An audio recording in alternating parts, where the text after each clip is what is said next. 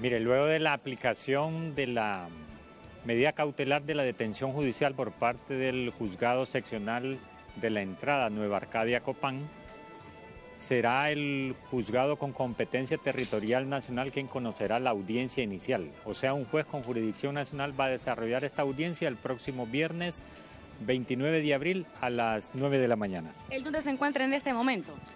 Creo que es Santa Rosa de Copán, es la parte más cercana, donde fue remitido al centro penal, pero en su momento oportuno va a ser trasladado acá. ¿Cuáles son las pruebas que tienen en su contra hasta este momento?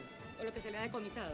No, mire, recuerde que el Ministerio Público, pues a través de la autoridad competente que hizo el- la captura, que es los órganos de investigación, ellos mm, lo- le imputan el delito de tráfico de, de drogas porque en una llanta supuestamente encuentran ocho paquetes bien en- empaquetados de supuesta hierba seca y eh, el juzgado de- seccional de la entrada pues eh, le aplicó la medida cautelar y como le repito, será el juez con jurisdicción nacional que va a conocer en audiencia inicial eh, la causa, o sea, el resto del juicio.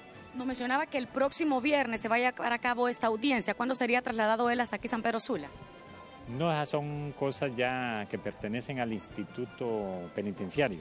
En su momento oportuno ya se, se libre el oficio, pero por cuestiones de seguridad uno tampoco no puede meterse en ese campo. Bien, muchísimas gracias.